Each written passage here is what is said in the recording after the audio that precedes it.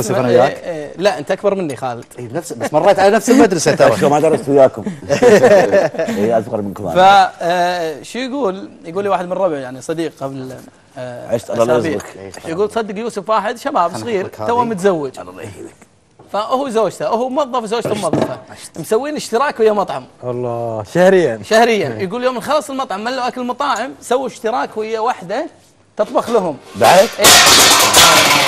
إيه. يعورون عورون يعطيك العافيه هاي سوالفك خالد دائما إحنا على الهواء لازم تسوي يعورون تراجع. عورون إيه، عورون ورانا مشكور ورانا تسجيل ترى ورانا تسجيل إيه. مشكور سامحونا سامحونا. عموما بسيطة يا أبو. لا بس أنا فعلا اتفاجئ بناس. مثل ما قلت إن اتفاجئ بناس يأكلون بيتزا يعني اتفاجئ بناس ياكلوا بمطعم. أنا يعني ما أعرف أكل برا بيتي. ما- ما تستمتع إي ما يعني أو بيت إسماعيل. بيتي أو بيت عمي أو بيت الوالدة. المهم يعني. أكل بيت. ان أكل البيت ما أطلع برا ما أحب أطلع برا. وأنا أحب من من اسلوب إني أحب يعني بالليل قبل الفطور أرتاح شوي يعني أنا ما أت- أتفطر أروح أصلي بعدين ارد أتفطر مرة ثانية.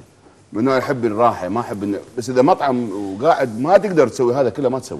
آه، كابتن يعني كلامك وراسك يعني ثبت علميا بأنه تجمع الأسرة في أي وجبة من وجبات الطعام سواء كان وجبة غداء عشاء أو التجمع هذا في حد ذاته يعطي الإنسان نوع من أنواع الكيمياء أو الآلية في هضم الطعام وبالتالي نوع من الحميمية والعلاقة القريبة جدا ويحسسك بأنك أنت صحيح ببيت واحد لكن هاللحظة هذه بالذات لها أهميتها. ها آه شو أخبارك اليوم؟ سويت؟ ها آه سويت. اللحظات هذه نفسها تخليك تاكل براحة تهضم براحة تمضغ براحة وبالتالي تعطيك جو حميمي أسري قوي. تشد من روابط الأسرة. سبحان الله. أخونا رضا قاعد يتكلم يعني الفنان رضا قاعد يتكلم عن الجزئية هذه. أنا شخصيا فيني طبع عجيب غريب. آه، بعض المرات ما أحب آكل بروحي. يعني أحب يشاركني وأتفق معاك أخوي رضا حسين أن بالفعل إذا احد شاركك يعني آه، حتى الأكل له طعم ممكن طبعاً، آه، طبعاً. آه، غير الأكل بالأكل كل خصوصاً. مبروك. لا خليك خليك خليك بالأكل خليك كل بالأكل. مشروب مبروك. الجو العام عموما تحس إنه جو اسري حميمي دافي يعني أنت الحين قيسك كالاتي نعم يا فلان انشبيلي وأكلت بروحك وأخوي يوسف انشبوا اكل بروحه صح ياكل يتمتع بالاكل لكن مو مثل على التمتع السحور لما يكون مع يعني. الاسره كلها أكيد. أنت اعمل قياس الحين بين السحور والفطور. في الغالب الواحد السحور بروحه ياكل يعني. يمكن كلنا السحور لأنك يعني آخر آه، اليوم فأنت وحدك في لا. أنا أكل يا هلي فالسحور دائما أكلك خفيف يعني. ولا أنا ينطروني لين أجي ارجع شو اسمه نار. غبقة وأروح لا أنا آه، أنا آه، أنا آه، بالنسبة لي أنا. بيتزا خالد ولا مو بيتزا؟ لا والله ماكو عيوش. زين ما في أنا فرق بس- هذه دعاية للبيتزا ترى على فكرة. أنا بالنسبة لي لا اتفطر ويا أهلي وسحوري ويا أهلي وعيالي وياي. دائما اكون كذي. أنا معاي. يعني نعم. بس على الكلام اللي ياكل بروحه دائما الوالدة الله طول عمرها آمين يا رب. كانت قط ال- يعني كنا إحنا ما شاء الله إحنا تقريبا ثمان ثمان إخوان. ثمان إخوان كلكم. رياضيين كلنا؟ رياضيين. ما شاء الله. الغداء تحطه بوقت الساعة واحدة تكتب ورقه الساعة الواحدة غدانا. ع- عسكرية. اي بعد الوحدة ما حد يتغدى تقلب الجدر. تكب العيش عشان ما حد ياكل تعودنا ناكل كلنا يا بعض. فعلا قاعدين ناكل يا بعض. اللي هي بعد الوحدة يروح يتغدى بيت الجيران. كيفه؟ لا بيت الجيران هذا نوع من أنواع التربية سبحان الله. دائما دائما جيراننا لليوم جيراننا نروح لهم. لليوم يعني فعلا على بيت جيراننا نروح نتغدى عندهم. انت قاعد تليفون شنو غداكم نروح نتغدى عندهم. إذا خلاص إحنا ماكو نساء. هذه إسماعيل انفقدت الحين بالجيل ال- الموجود. والله أنا يعني للحين أنا بالنسبة. لنا للحين موجودين. جيراننا نروح لهم. أنتم وين؟ أي منطقة؟ إحنا كنا بالرقة. طبعا أول حولي بعدين رحنا الرقة. جيراننا للحين موجودين. للحين يجونا للحين نروح لهم. يعني قبل يوم الجمعة أنا في تواصل، عندهم. اي. موجود عندهم.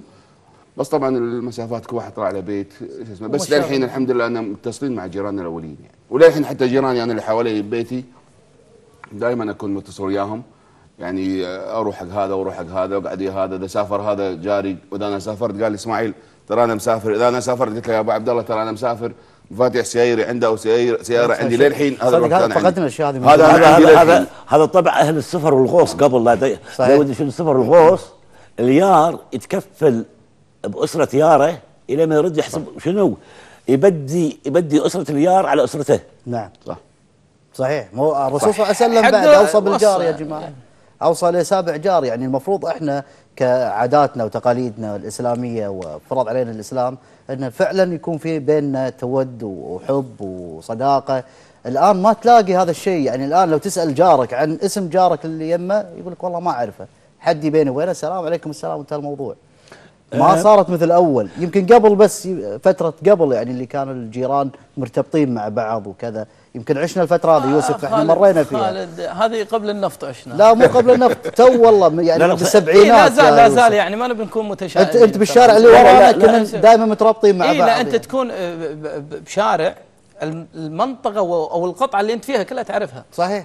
آه، ليش؟ الوضع ال- يختلف غير الوضع يعني. يختلف. اللي دراسة أول بيوت عربية زين والبيت يعني يم البيت وفي مجال إنه يعني التواصل يعني فرصة الالتقاء تكون 90% الحين كل بيت ثلاث أدوار وكل بيت فيه خمس لا عوائل أخوي مشعل ترى ما ما تقدر تقول هذا جاري وهذا جاري. لا لا المشاغل سبحان الله. أول والمشاغل. يعني, يعني يعني أنت الحين ترى شوف. البيت الواحد جنبك أمهات أول ما كانوا موظفات عدل؟ شوف شوف شوف قليل. شوف, شوف. ما تغير شيء في الكون. الصيف هذا هو الصيف الشتاء هذا هو الشتاء على قول صحيح. الشاعر.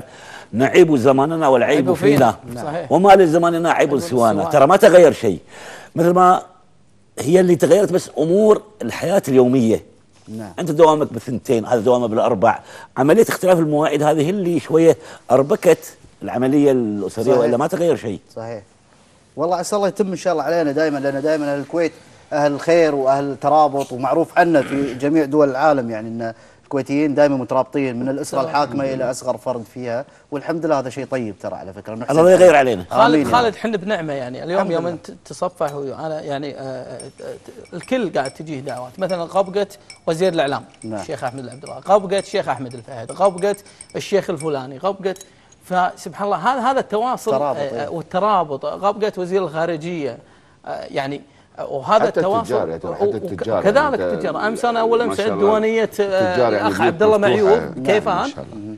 يعني ما شاء الله تشوف مختلف شرائح المجتمع موجودة. شيء طيب. وناس يعني بالعكس. بالعكس, آه بالعكس التواصل الاجتماعي هذا شيء محبب. واللي يفرحك إن يعني على سبيل المثال نرجع على قضية حدث. نعم. عند الأخ ناصر روضان يسوون كل سنة آه غبقة واستقبال المهنئين حدث.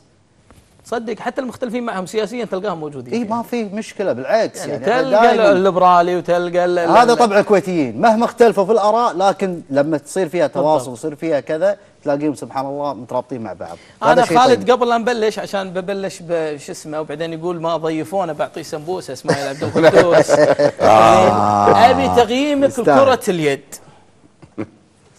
يعني هي رشوة هذه إيه. مثلا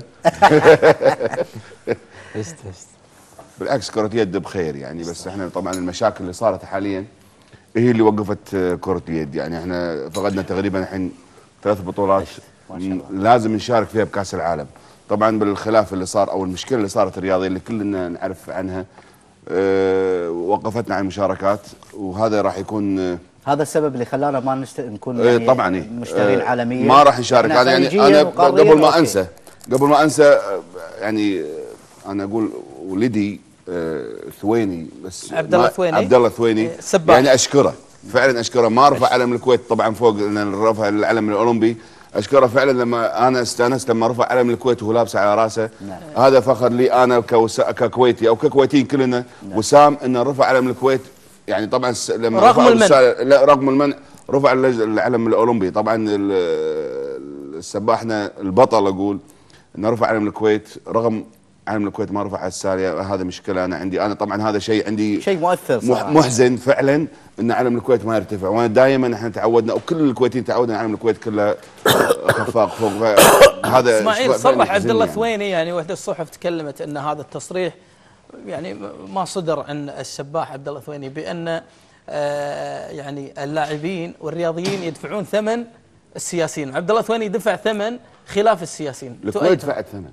مو بس عبد الله ثواني كلنا إحنا دفعنا الثمن.